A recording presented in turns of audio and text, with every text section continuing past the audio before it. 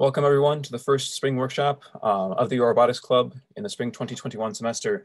Uh, this is called How and Why to Use ROS. My name is Benned. Um, and just to start out, please note uh, this plan, although not feasible, I think it's an interesting example of how, um, I don't know, it's kind of, I found it amusing. The robot was clever enough to find this path and I was not clever enough to tell it, that doesn't work, you're too wide. So let's look into why that exactly arose. First off, um, this workshop, it's useful to have some C++ or command line experience, um, just so you understand code examples and whatnot. And as we're running through things in the command line later, um, just knowing what's going on is of course helpful. Uh, we also have three kind of questions this workshop works to address. Why is ROS beneficial for robotics software development? How does ROS software development actually work? And then just look through an example, how do we apply these concepts in some concrete way? Um, and thinking through these concepts, not just abstractly, but like, what does this look like in practice in some example? Just to start out, my name is Benned. I'm computer science and linguistics major, ECE minor. My current year is junior. I'm also the president of the Robotics Club and an undergraduate research assistant for the Robotics and Artificial Intelligence Laboratory on campus. There, my research investigates efficient algorithms for mobile robot trajectory planning over complex terrain. Um, and we use ROS quite frequently in that work. So uh, this is definitely something I have some experience with. So what is ROS? Why do we care? Um, let's first talk about the conceptual challenges of robotic software development and then how ROS solves some of these. So first off, think of the most naive case possible. How does a robot cross a room? We need a bunch of things to happen. We want to sense the room. The robot should update its model of the room and where it is within that room. We should maybe identify goals, like what are we trying to do? And then develop plans to actually reach or execute these goals. And of course, execute those plans in a safe manner. Um, now, this on the right here is kind of a visualization of what the most naive version could do. We throw all this stuff into one file and we do it step by step. Let's sense the world, then let's plan, then let's control our motors, and let's jump over and do the entire thing again, repeat. Um, but kind of obviously, you know, some of these things are way more important than others. Safety and doing things, you know, actually thinking about what you're doing is far more important than maybe updating some model of the room that didn't change very much in the last second. Um, but at the same time, you know, some of these things change different amounts they change with varying, I guess, frequencies and time. Um, and sequential execution really just ignores all of these different aspects. To kind of break apart what these different problems are, the first thing we might want to do is parallelize our code. We could do this over multiple machines, or in many cases, just using multiple cores on the same machine. Um, that's one way to just speed things up and in general make our system be more robust to the world by responding more quickly. The second step might be actually allowing processes to work asynchronously. Uh, for example, let's say we have some, some planner we don't actually need to plan until we have a goal. And once that goal has been sent off, this node over here, you know, we don't really care. Once the goal is sent, that thing can go and die. Bye. Um, and just to the point of thinking about these things, not in terms of chugging along, always doing the same thing, but like something tells something to do like other processes. Um, not everything needs to happen at once is maybe the point to take from the slide. The third piece is, you know, maybe using a different planner. Um, if we've written our code in a kind of mature way, we can hopefully reuse the code in other projects, but also maybe replace our code with something maybe professional or someone um, we trust dearly has implemented, rather than trying to do everything in the world from scratch. Um, writing code that can use you know, other resources is often helpful. And the final piece, I haven't really talked about it, but you know, there are all these arrows in the picture. Someone needs to set those up. Um, in the process of defining these communication protocols and making sure everything kind of works cleanly and all the arrows are the right color, that's kind of annoying and tedious. And it'd be nice if ROS maybe could do that for us. And what do you know? It does.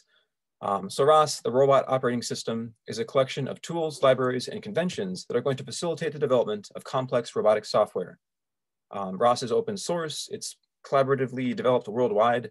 Um, and it's often used throughout research in both academia and industry, um, especially on campus here with Professor Howard, for example. So concretely, ROS does a few things for us that are very nice. If we're using ROS, we obtain standard ways to define the plumbing between the various components of our software stack. We also get clean ways to compile, run, and debug these pieces without as much headache.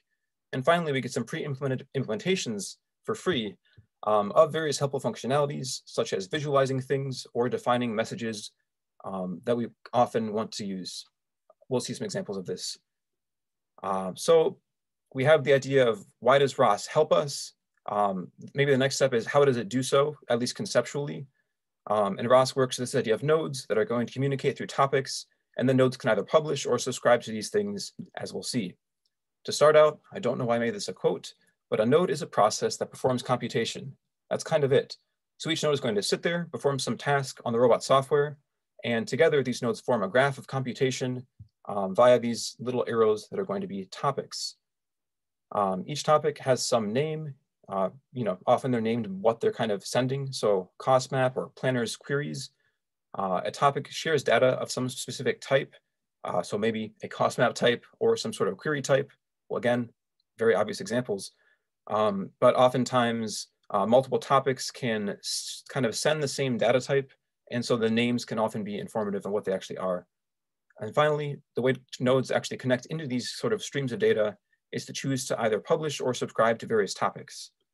Um, in terms of what's going on on those topics, a message is kind of each piece of data that is sent on some topic. Uh, just checking the chat. Thanks, Fran. Now, uh, the message, of course, needs to match the data type of the topic. Uh, messages are typically constructed of named type fields. So if you're familiar with C, C or C++, um, these are kind of just structs, you know, objects that sort of have data members, but typically no functions because that's kind of reserved for classes. Messages can also be predefined types uh, from the ROS ecosystem, or you can define your own types. Um, concrete examples, and try to open those up. So the first of these, a geometry messages pose. Um, the way these kind of messages are named, we have a package and then a kind of what data type we're working with. In this case, a message that is a pose is comprised of a point and a quaternion, um, each named some sort of you know identifier you want, and then you can look into what each of these things are. Geometry messages at point is composed of X, Y, Z. Each of these will be doubles in C++. Um, next piece is actually a nav messages path. This is just kind of illustrating how these things connect together. This is some separate package in the ROS ecosystem that's called nav messages used for navigation. Um, and you actually can see a path is composed of some sort of header object that just gives some documentation information about the message, and then a series, or at least an array of pose stamps, which are effectively poses, as we've already seen, and then this header file again. Um, really not file, but I guess data member. All, all the point of this is these data uh, objects are composed of other data objects and kind of building this hierarchy of these different um, data members, you end up building fairly complex messages, uh, but never having to write too much at once. Uh, final piece, how can we write our own messages? These are two examples from the Navbot project. Uh, we can make a path, and in this case, we just chose to use an array of geometry points. We called it points. And a second example, a planning query. It's going to have some starting point and some ending point or goal point. And basically this tells the planner like, where are we now and where do we want to go? Um, and that's kind of what the planner ends up reasoning over. Jumping back here, how do we use these messages? Well, publisher and subscriber relationships.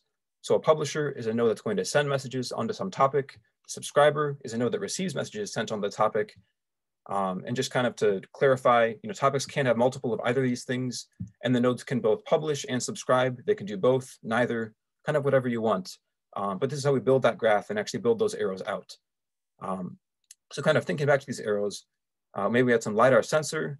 It's communicating via some topic called laser scans with the data type laser scan to some sort of mapper node.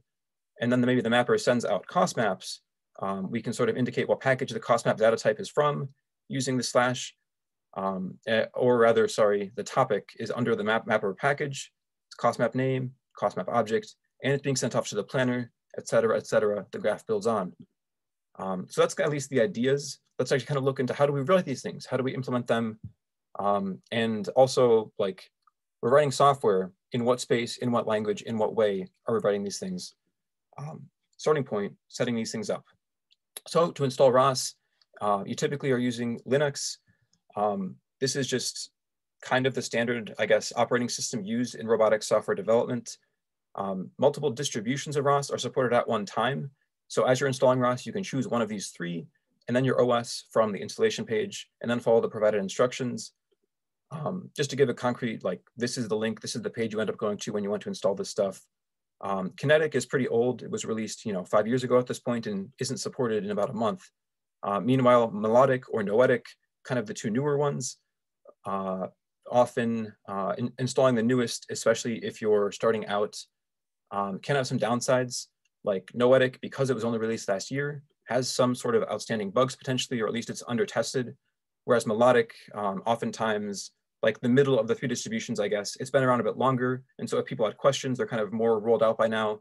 And if there's certain documentation, it's going to be specific to ones that have been around longer. So I guess that's all to say. I would recommend installing Melodic if you're starting with ROS because it's going to have that documentation built up, but at the same time, not be too old that's going to be defunct pretty soon. Uh, kind of just a balance as you're working with software that changes over time.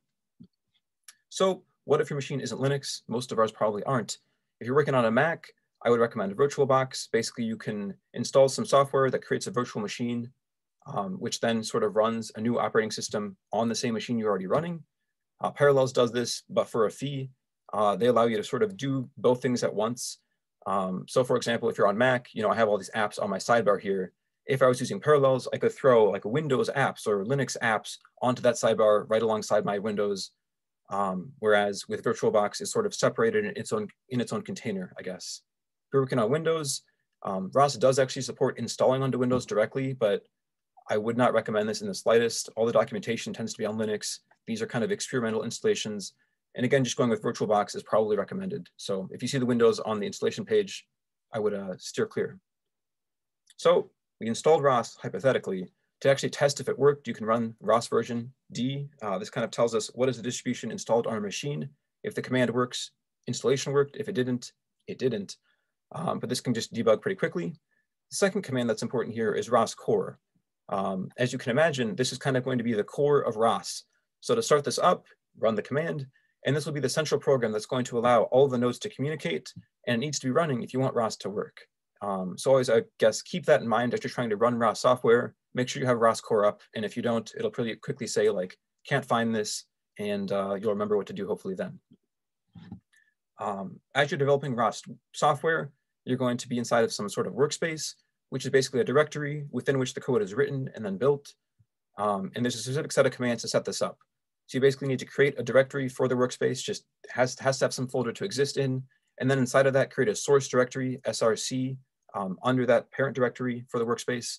Um, move into the workspace itself, and then you can actually just run the command catkin make, and this will create uh, what was just a folder and turns it into basically a ROS workspace or a catkin workspace um, within which there are a bunch of, as we'll see, files that connect together to help build the code and make everything run nicely, whatever, whatever. Basically, this command is all that matters here, but it's a lot of pieces behind the scenes that I don't even care to know.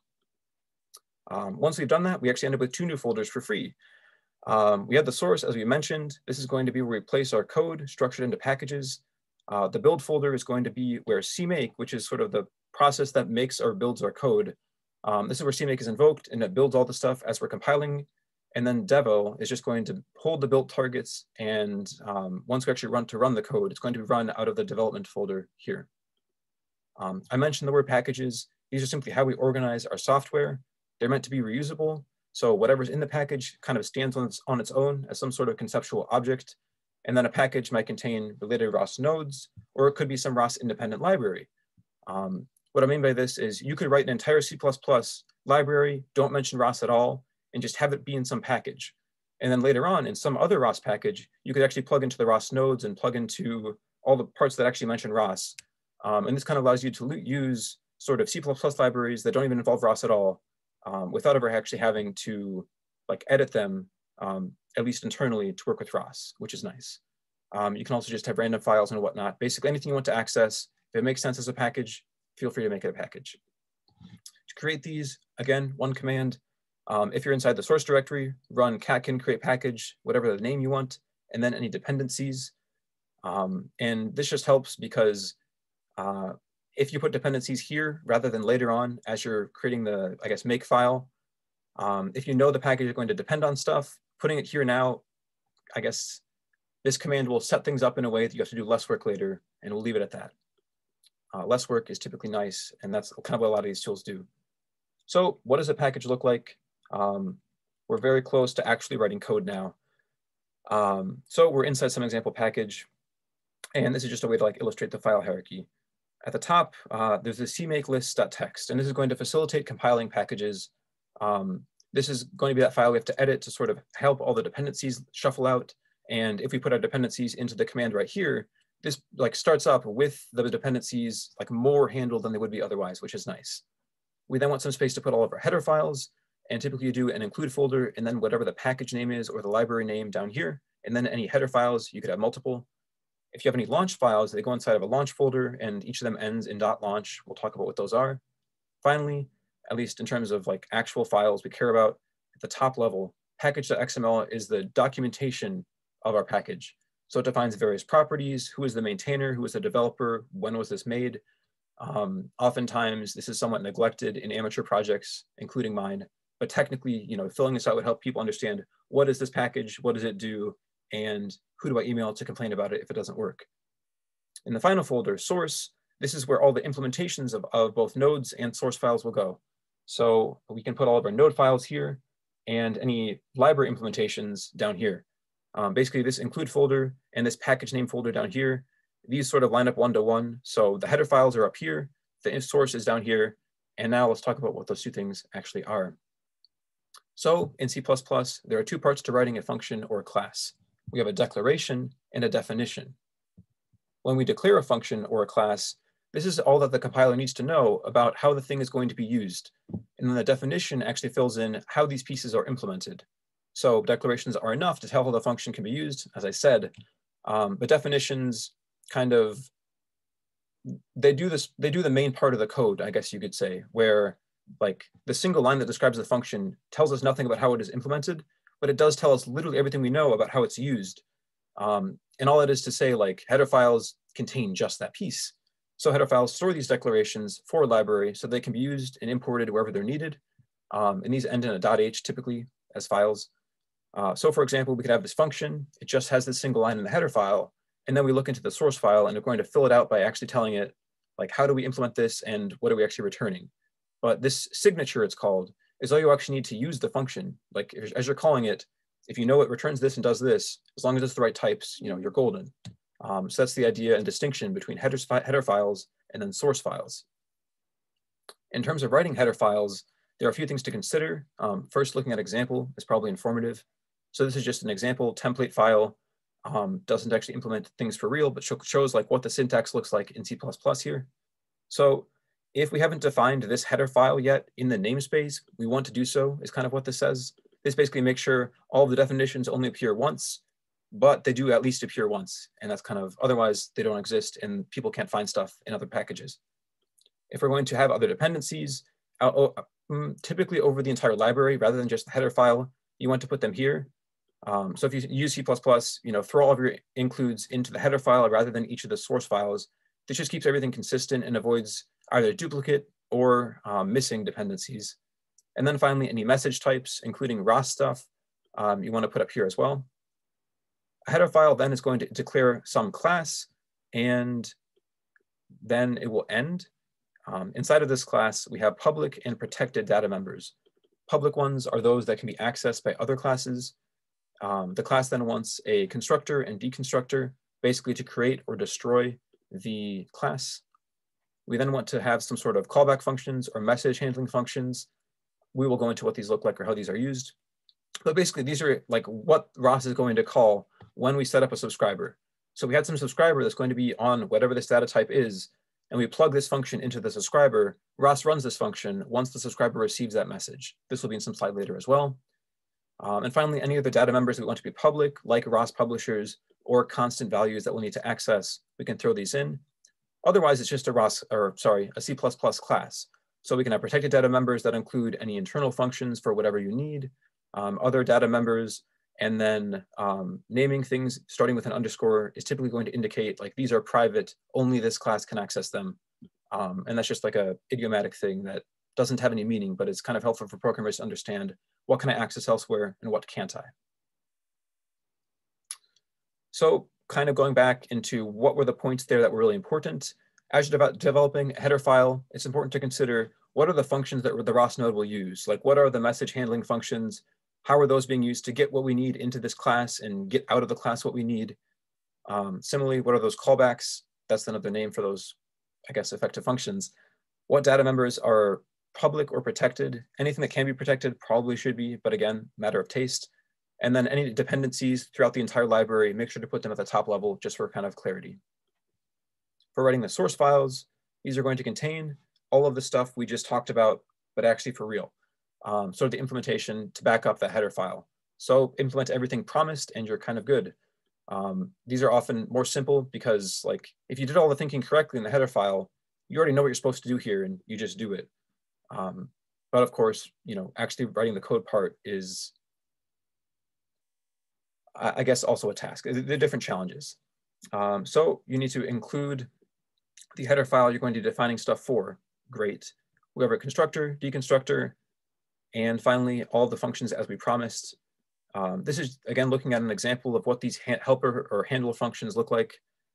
Um, the simplest type can store the message locally. So we could index, uh, like our, this, this left side of the equation here, uh, this is some sort of data member of the class, and we can index out of the message what we want. Um, we could also have other data members that are like sub-constituents, or I guess sub-data members of the message. Um, and we can access those and store them as we want as well. Um, handlers can also kind of do whatever else you want. So you can call their functions. You could tell, hey, planner, go plan and publish something afterwards, um, kind of whatever you need. But uh, these functions are typically going to just store stuff and um, you'll then use it later on as you're doing some sort of loop. We'll look through examples again. And then finally, other classes, uh, other class functions, I guess, implement them, make sure they are correct typically. Um, this is the main place where you can mess up, but you know, write out C++ code as you would and make sure everything in the helper uh, in the header function is completed. Uh, the final piece, just left this as a note term on myself, you can include other things you want in the source files. So the header file just tells us what is everything that's available externally to the class. But if you need other functions that aren't tied to the class just to create certain functionalities, that's totally fine to add them here. Um, kind of just remembering this is just a C++ file, and so you can add any C++ you want. Um, just a, a useful note to remember. Now we are finally into ROS nodes. So this is the part that's specific to ROS and not just C++. To set up a ROS node, you're going to want to make sure to include any header files that you need, including message types. You then begin some sort of main function because these are sort of the executables of uh, ROS code. Um, so it's going to be int main, args, whatnot, um, begin the open brackets of the main function. Inside of that, you're going to initialize a node using this command. Basically, as long as you've included ROS um, as a, from the header file, you can call this initialize function that starts up the node. You just pass in whatever the node was given, and then you can name it whatever you'd like. And finally, to access the node handle, um, you just typically write this line out, and then you'll call this later on to set up publishers and subscribers. The node handle is kind of, I don't know, it gives us just an object within the code to say, add publishers, add subscribers, add whatnot, um, to plug this node into other things in the ecosystem. Here's an actual example. So we want to make a publisher. This is what it would look like. We already have the node handler as we saw, and we can then write ROS publisher. We call it whatever we want. It's going to be the node handle dot advertise some sort of data type and then some sort of arguments. So let's break this apart. Uh, first off, the function arguments here, we have the topic name. So whatever we're publishing to, we need to name it, identify it. We can also have the publishing queue size as an integer. So this basically says if messages are published faster than they can be sent, um, how many messages should we store in a buffer before we throw anything away? Um, so you can imagine, you know, we had a really great planning cycle and it went really quickly, but we didn't yet publish the last plan we had or whatnot. Um, uh-oh, do we sit there and ignore it or do we publish both and later on, um, you know, deal with them on whatever subscribers we have? These are kind of de design decisions that you end up thinking through. Um, but for now, one is typically fine because we just say, if we didn't publish the last one, throw it out and do the new one. That's what one would mean here in this case. And then finally, the true here is just the latching argument. Basically, should new subscribers to the topic receive whatever was last sent. So when latching is on, the last message that was published is saved and automatically sent to any future subscribers that will connect to the topic. Um, the final piece, we just have this generic parameter, which is kind of defining the data type of the topic. Um, and this kind of angle bracket syntax you might recognize from Java, similar in C++, just going to indicate the type of the topic. To set up a subscriber, it's arguably a bit simpler. Um, the object is a ROS subscriber called sub. Take the node handler, uh, node handle dot subscribe, and then we give it a name, the queue size again, and then some sort of callback function in the object. So again, the topic name is just a string. The queue size is the same idea, but for subscribing instead of publishing. Um, the callback function is going to handle messages of the subscription, um, as we saw in the source code. And then we're going to pass a reference to a particular object with the function, um, which is typically an instantiation of the library class that we already implemented for the package. Um, there are, I guess there are other ways you could do this where you effectively put the class inside of the node file. Um, all I should say for now is this is a reference to some object. And as long as the object is of this class and this is a function that exists under it, um, you can use that callback as you'd like. Um, but that's a kind of a, there's no point of bringing it up now. That's just like an advanced design decision that says we want to put all the ROS code in the node files rather than the source library. Um, and that's a consideration way down the line. Finally, deep breath. Let's look at some examples and just really practice like, what do these things look like in terms of we set up the publishers, we set up the subscribers, how do we use them? There are a few things that often show up. The first option, we could sit and wait to receive stuff to process.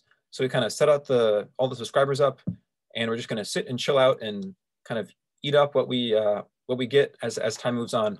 Second piece, you can uh, kind of workaholic it out. You churn away updating some state like a simulator and constantly publish out the new results all the time. Uh, the final piece, uh, kind of, I guess, a Hail Mary, you do one time publish and you exit. And these will give examples of what happens after all that syntax we saw is. So let's take a look. The first of these, let's call it sub and spin. The idea is we set up our subscribers and then do nothing. The way we do this is this ROS spin command when you call this, it keeps the node running, just waiting for messages. When a message is received, the appropriate callback function is called to handle the message, and then things will exit when the node is manually closed or killed. Um, so this is just the last line in the file, basically, and then we just chill out and you know wait for messages. Um, and this is actually a rare case where there's like a perfect example from real code I've written. Um, this is from Navbot, and this is the GUI class here. So as you mentioned, we're going to include the GUI um, header file uh, which is going to like declare the type of class we're defining down here. We're inside of some main function. So create the arguments that we care for the GUI. In this case, we just needed to tell it the robot's diameter in meters, and we create that object. And now this is just a GUI object called GUI. Thrilling. We initialize the node. I called it GUI. We get the node handler. And finally, we set up four subscribers. Each of these kind of syntax is the same. We just called it something different to kind of be clear. We get the node handle dot subscribe. each of the topic names are just like where are we grabbing stuff from across the different um, Navbot channels and topics. And we give the reference to the callback function that was defined in the GUI class, and we give it the reference to the GUI object as we just declared. Um, so hopefully this kind of instantiates what that looks like in a real example. And finally, we just like the GUI publisher um, is inside the class. I called it marker pub because it's publishing these visualization messages that are markers um, and basically, this is just going to do some stuff with RViz that we'll talk about that helps us visualize um, what are all the things it's subscribing to in terms of like actual 3D images and whatnot. Um, as a just general tip, you want to maybe sleep after you set up all your connections. This kind of gives ROS time to set those things up and get them fully ironed out and working. Um, and then you do whatever you want. In this case, just spin, wait for messages, and later return once ROS uh, kills the node. There's that example. The second example, um, I just put it in the slides itself. We're going to churn away updating some states and publishing the result. So in this case, we can create a ROS rate object. This basically is a way to just set up timers that are going to use real time, like wall clock time, rather than CPU time to uh, estimate how long things are taking or how to create loops of certain lengths. In this case, we create a timer that is going to be 10 Hertz. Um, so this indicates Hertz rather than seconds or anything. We, we start a while loop as long as ROS is okay, basically, as long as the road hasn't been shut down, we're going to spin once, which is like a mini version of ROS spin. It just does it once. So like check for messages and move on. Um, don't like, you know, we don't stay in here, we move on into this. We're going to step our simulator or object forward. Um, in this case, let's say the step function takes in some sort of time. Because we're at 10 Hertz, let's use a tenth of a second. We step it forward in time um, and have some new state of the world. We then publish out maybe whatever the object's new data is that we updated and finally, we sleep um, using this ROS timer so that everything kind of happens at a consistent frequency. Um, real example of this we'll see is in our simulator. If you want to simulate robot motion, maybe we do it every 10th of a second. And we can kind of say, given that we're moving at this speed for a 10th of a second, where will we end up? We do it over and over and we constantly publish the results so the entire system knows where is our estimate at. That's the idea. the final piece, arguably the simplest, uh, just to start our system off, we'll publish once and then we'll exit. That's it. Um, so we could create the object um, for the message, whatever the data type is. We fill in its fields as relevant, and we're going to publish it. That's it. Um, again, sleeping for nice, uh, just, just to help debugging basically, and then we exit. Um, and that's the idea there.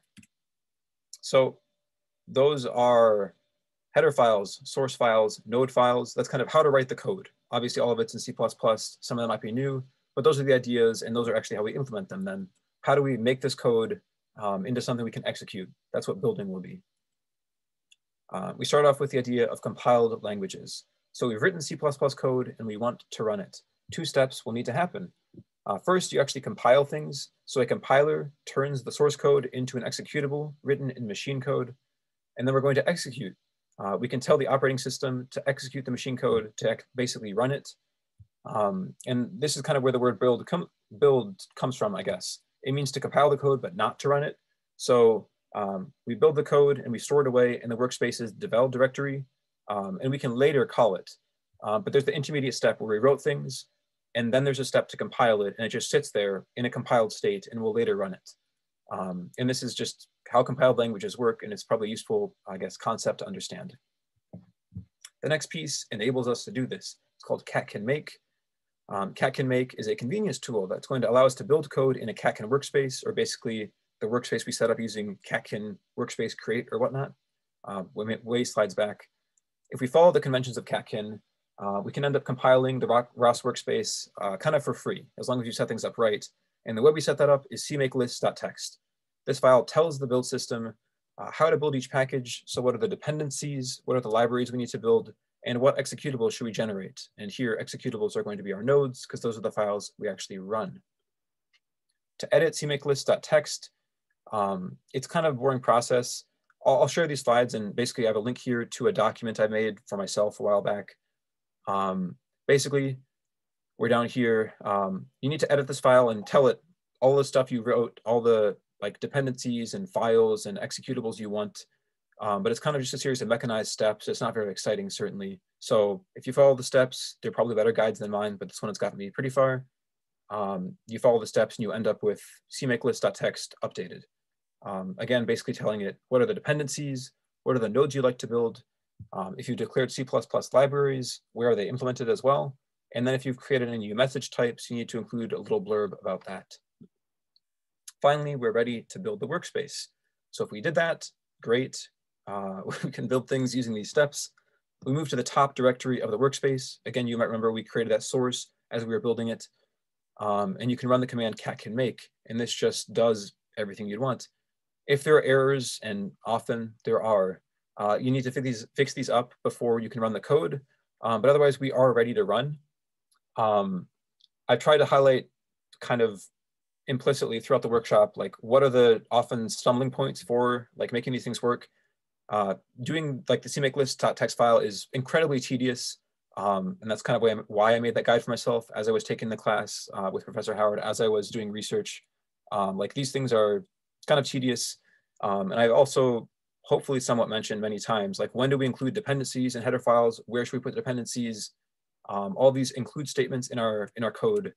Um, these are annoying things. These are not exciting things, but they often are what causes these errors. So that was the goal there.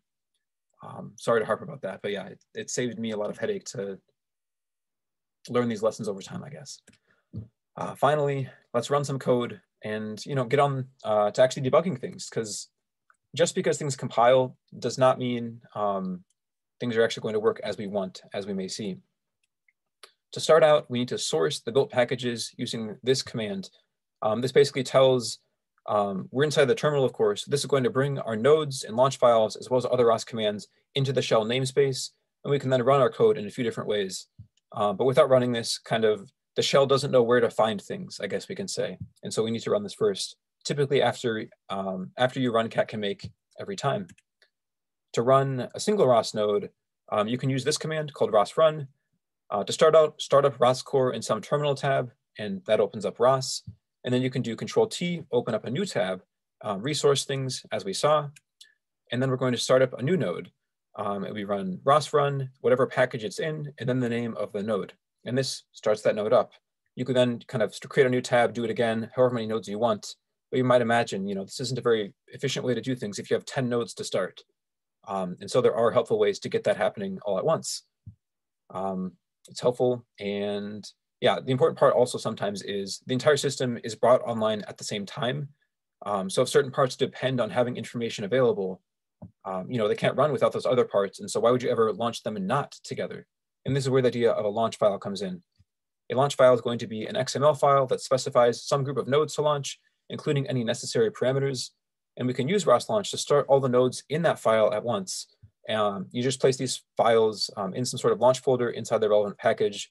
Um, if you remember way back to like what the package looked like, this is one of the folders at the very top level of the package called launch. Um, and just here's a concrete example of what that looks like. This is the main launch file for Navbot currently. Um, these ones are, let's ignore these. Um, here's what each of the items in a launch file looks like. We say node, we say the name of the node, um, whatever we want to call it, and then whatever package it's from. The type here is referring to whatever we identified in cmakelist.txt. Um, and you might notice later on here, find an example, like you can name the node something different than the type of node that it is. Um, this is just an important point in like, if you wanted to start multiple maybe planner nodes and see which one was faster, but they all have the same type for some reason, you can name the different things to create, or uh, I guess avoid conflicts, otherwise you'd have them. And so no, ROS does not support microcontrollers. Um, it runs on Linux. Like at some point to have like you can imagine all these processes are going to run on different threads. Um, there are microcontrollers that can run ROS, but behind the scenes, they are going to run Linux. Um, I guess that's the answer to that, yeah. Uh, an example might be like the NVIDIA Jetson Nano, um, which Navbot is currently working with uh, this semester. So we had the launch file to actually use it, set things up using the source command, and then we ROS launch and we say what package it's in and call the file. Um, and you don't actually need to include ROSCore here, which is nice. ROSCore um, is started automatically if you use ROS launch. Um, so one fewer step for us, which is always great. Um, there are then three, three more examples here of just, here are some functionalities that help us debug things. Um, going into these in depth is probably overkill for now. Um, basically the idea for ROS node is we can get debug information about nodes. So we can list what nodes are active, we can check if a node's connected, we can kill a node, we can kill all the nodes, um, or we can get information about what a node is publishing and subscribing to. Um, you know, as you're running ROS, uh, looking back on slides like this and this uh, are probably more helpful than me saying it now. Similarly, ROS topic gives us debug information about topics. So list them, find information. Um, echo here is also like often very useful where we can print all the messages being sent onto some topic um, in the command line and just make sure like what we expect to see is actually occurring. Um, and just kind of a side note, for most of these commands, you can learn more about their options by just running the command without any arguments. So if you just run ROS topic, it'll tell you what all these things are and how to run them. Um, so it kind of avoids having to look up references in cases where you can just run parts of the command. Final piece, rqt graph. Um, this is just kind of a nice way to create figures and get an idea of what the system is doing overall. It's going to visualize the connectivity of our ROS nodes. So when the nodes are active, you can run rqt graph and produce figures like this. Um, there's not much point in going into details, but at this point, hopefully you can understand like all of these things in ovals are our nodes and we have topics that are connecting them. Um, unfortunately, this doesn't show the types, but uh, like at this point through the workshop, we, we do understand like what each of these things is doing, um, how it could possibly have been implemented. And then like these topics are each sharing data of some type and together it's going to form the computation that creates the robot's behavior that we want. Okay, that kind of closes the abstract uh, talking part. The next part is a concrete talking part of the workshop. Um, let's look at an example. Uh, talking about occupancy grid mapping, which is a probabilistic approach for creating simple maps of the world. Check our time, pretty good. So let's look at our task. Uh, let's explore some example system, focusing on the ROS node relationships rather than the internal algorithms. Um, and I create a few assumptions just to make this simple for us. Let's say we're remote controlling a robot and it's driving around indoors. We also have perfect odometry information.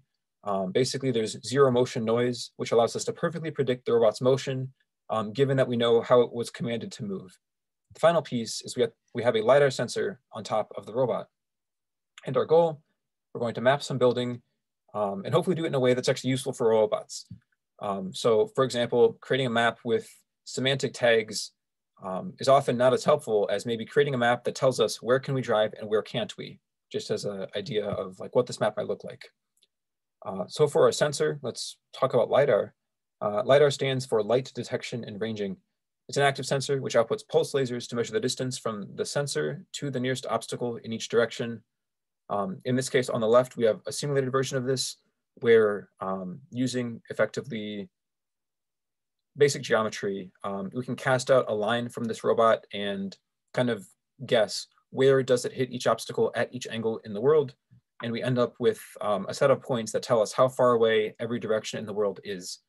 Um, and similarly, in the real world, uh, we can do things in coal mines, I guess. Um, this is just a figure from a great textbook called Probabilistic Robotics. Um, often lasers do have like a range at which they're not effective. And so that information will be included in the data type we end up defining for this here. Um, so we have our sensor, like let's create a node to connect it into the ROS system. It's going to publish laser scan objects to some topic. Um, what might the laser scan object look like? Well, let's say we want some sort of double that tells how far is it between each angle or each laser um, in this LiDAR scan.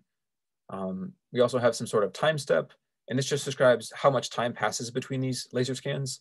Um, if you imagine the robot's moving very fast and like as, as the scanner spins, um, it's like it, the robot moves a non-negligible distance um, over the course of the scan.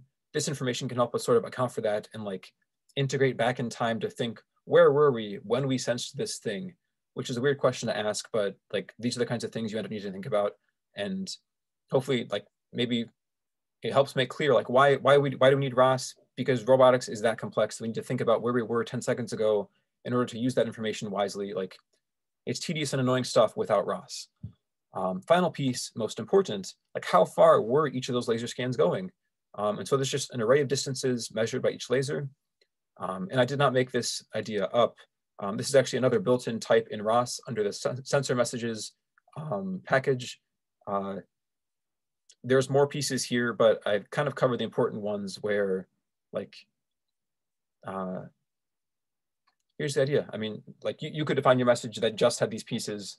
Um, and that's also kind of always a balance between ROS gives you these types that are sometimes very extra, like, come on, it's overkill.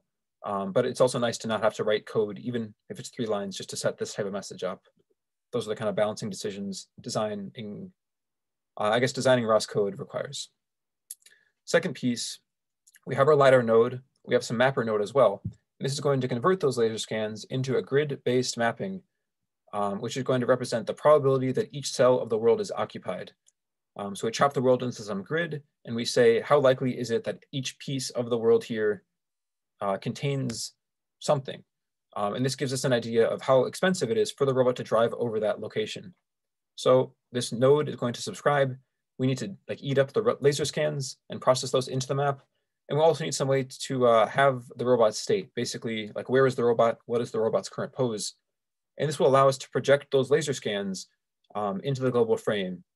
Um, if you think back, like these laser scans only tell us how far was anything from the robot, and so we're going to need like a way to put that into the, the world's space because um, geometry, I don't know, like uh, formally, formally I'm not explaining it here, but uh, we need both of these things for that reason, I guess. The final piece, the mapper is going to spit out a map, imagine that. Um, and that's actually all the relationship this piece needs, which is nice. Um, to have that state, which we've kind of said we needed, um, we can have a simulator node, and this is going to provide some internal prediction of where the robot is. Um, and I kind of made this easy for us. We can assume zero motion noise, and therefore we can just sort of take the controls that the robot was commanded to execute and project them in time and see where we end up. And this will actually use that publishing loop uh, paradigm that I mentioned, like I think the second example of the types of nodes we often see. Um, so, you know, we'll sit there and we'll constantly update the robot state, I guess, using the current motion command. Um, and we project forward in time. So to get that motion command, we obviously subscribe to get it. Um, and this is going to come from, you know, a remote controller. Presumably these commands were going to the robot's like wheels or motors. So we already had them accessible. Um, and so the subscriber here can just grab them and get them for the simulator as well.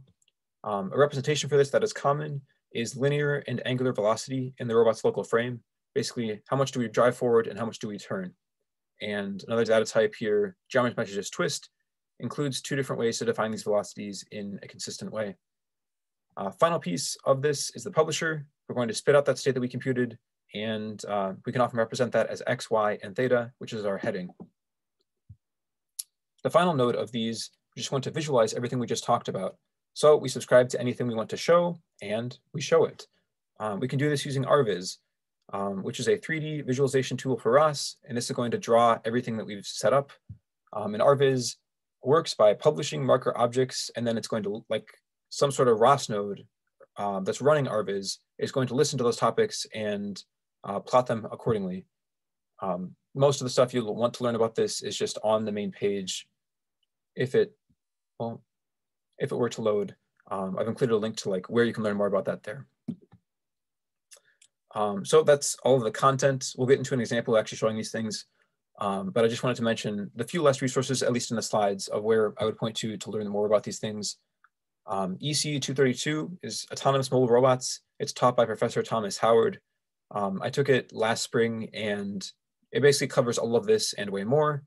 Um, and it's definitely an informative class if you want to do robotics research on campus. Second piece, ROS Wiki. As I mentioned, ROS is open source and developed by a lot of people. Um, and so a lot of the documentation about any of these pieces I've talked about will often show up here. If you aren't familiar with C++, I have a link here to the source I learned um, using last I guess last spring semester. Um, this is kind of short, but it was enough for Howard's class, which is uh, arguably more than you'll ever want to learn about C++. Finally, piece, um, I don't have it next to me, but the Probabilistic Robotics textbook is a great resource for a bunch of these algorithms, um, especially because I've kind of glossed over them for the sake of time and the sake of maybe conciseness as well. Final, final slide. Um, we've explored various aspects of ROS software development, focusing on the following three questions. We know them, we talked about them. Um, and I'll now move into a demonstration, just kind of illustrating these things, illustrating how to set up the workspace, how to, um, like how, how can you create a source directory that has other people's code? How does that work? Um, but that is the end of the slides there. Um, I'll take like a bit of time to, I think, transition over, but that should be it. And I guess no, the screen still wants to record.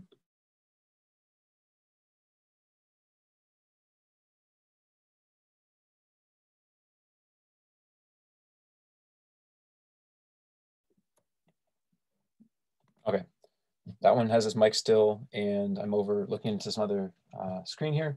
So this is just the Navbot code. Um, I'm just going to clone this from scratch because it's uh, it's probably the most straightforward way to like just create a new a new space to work in. Um, so let's start out. Let's create uh, create our workspace. What was that looking like? Uh, so we want to make the directory to contain the workspace. Um, call it example workspace. I might already have one, so I'll call it example workspace one. Create that, and we want to create that source directory inside of it, just so that the catkin make can build things accordingly. And example workspace one, good. So we're in here, we run catkin make, and it does everything. I'm skipping the exciting terminal printouts, but it's just building stuff great. Um, and if we look, which I'll try to, we can then actually see a bunch of stuff on this machine, but what was it, an example? Yeah, we have this new workspace and it created these new folders for us, which we kind of want. Um, and you might notice like there's already a cat can make list that text in here that it fills in for us once we run catkin make. Okay, so we have that. How do we get our navbot code into there? Um, I do it like this. So we're going to want to navigate inside of that source directory. Uh, we're at the right level. We're basically going to replace the source directory with um, whatever Git repository we want to clone. Um, because like if you kind of recall, the source directory was the main part that we ever actually cared about um, kind of building all of our code, writing all of our code out. Um, if we replace the source directory with another one, um, we can end up kind of just having all the code we want, yeah, of course, um, kind of for free. Name, source, let's see if that works. And yeah, we're now inside, I just want to rename this to the right thing. Let's check if that works. We're just going to rerun the same command uh, to kind of make all that code. I just copied a bunch of source. Let's now build it into uh, whatever. And does it work? It looks like it's working, which is probably good. I should have tested this more beforehand. Uh-oh, missing fun printouts. Um, basically, you know, Catkin does all this stuff for us. Every one of these steps is one we would have had to write ourselves um, if we weren't using this tool. So hooray for not doing that. Um, the Navbot package, uh, I guess the Navbot workspace has many different packages. Um, it's going to mention a bunch of these here. Um, once we're running it, I can show like the full graph and kind of show what the system is doing. Um, but I really am just like copying in the code from GitHub and it's following kind of the, I guess, format that I explained throughout the workshop. Uh, final piece, um, once this is built, I'll source the stuff as I mentioned, and then there's a launch file. Hopefully it works right from the get-go. Um, and yeah, that would be the system running kind of from scratch, quote unquote. And yeah, I probably could have thought ahead and like I have a version of this that's already built. Um, doing it live is a bit slow. Uh, if there are any questions, definitely a good time for that. Um, yeah, and I do feel weird not looking at the camera, but two screens. Or 95. All right, gonna be the fastest source devel setup bash. Yeah. Okay, and we should be able to launch what we want. What do we want? I think it's in a simulator package that we have a file called sim.launch this was the file that I showed as an example launch file as well. Um, let's see if it works. Hmm, it does not. And I can actually guess why. I probably didn't kill all of the nodes last time I was testing this earlier today. So let's kill everything. Great sentence. Yeah, so if you run ROS list, like ROS node kill all enough, it says there's no more things to kill, which is exactly what we want. Resource things, let's check now. That's better, no warnings. Uh, before, let, let, let, let, that load first. Uh, first piece here, we are in the launch file and it kind of tells us, these are the nodes I'm going to start. And it starts those. Um, and each of those gets a new process ID and gets started up. We have our RViz node as well that's going to uh, eat up whatever markers the GUI is sending. Um, just to kind of show some of the, I guess, commands that I've listed throughout this workshop. Um, this is one you often want to use just to like see what is happening currently. So ROS topic list, it's listing all the topics that are currently active. Check our time, yeah. Um, so these are like all the different things that are going on inside of the Navbot uh, architecture. If I do ROS node list, you can see all the nodes that are running. It should just match whatever was uh, started up here. Let's actually look at like what this is doing um, in RViz. So this is how RViz looks. Um, you can look around, oh joy. Um, on the left here, important part, this is like all the stuff we had to set up. Um, so each of these is a type of object and we kind of say like what topic should I subscribe to to get this data. Um, so I'm sending out all the markers from the GUI via this visualization marker topic um, to get our laser scans, a bunch of settings, but I'm using the topic called scan. Um, you can close that. You could if you, okay, whatever. Where is it? There. Finally, the map, um, it's some sort of mapper map class, and uh, it has some information about like the map is offset by five meters and five meters in two directions to make it centered. Um, overall, let's actually try to make this do stuff. So I've set it up so that you can publish a point from RViz, and this goes to the planner. A um, bunch of steps happen, and we end up with some some plan, and then it follows that plan. Um, this is how like all the figures I've generated that look like this um, kind of came to be. Um, now, there are a few issues with the current implementation, like as I kind of showed in that first slide, I'm not actually C-space expanding things. Basically, like the planner will cut as close as possible without considering how big the robot is to obstacles. Um, you could fix this because the robot has a circle by like expanding um, all of the cost areas by some certain radius. Um, that that is arguably a simple fix that I should have done before this workshop, but uh, I was working on the slides um, and also midterms, you know how it is. Um, but th this is really what the system looks like. So we're publishing a bunch of markers that create these objects. The cost map is some sort of flat layer underneath all this stuff. All these white dots are the laser scans being like simulated and then published live. Um, and actually, if we hide everything except for that map, we can see like, this is what the occupancy grid map actually looks like.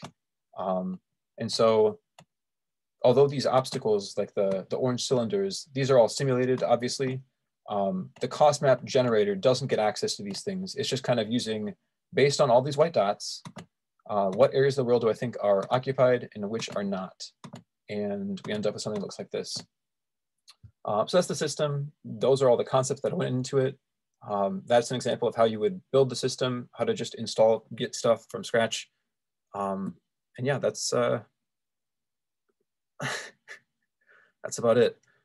Um, yeah, I like. I could talk about ROS for far longer than this, but that is all the stuff I wanted to cover. Uh, thank you all for your attention, um, and I think I'll stop the recording there. Stop it while I'm ahead.